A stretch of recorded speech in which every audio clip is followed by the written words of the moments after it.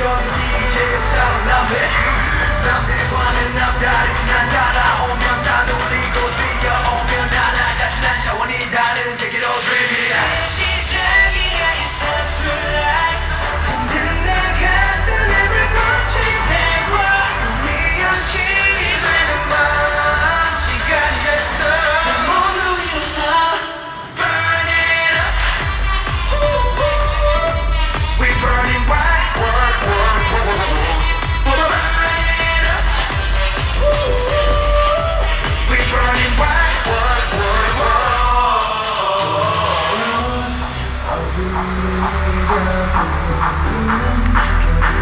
받아도 이제 난 내일이 두렵지 않아 더 이상 혼자가 아닐 테니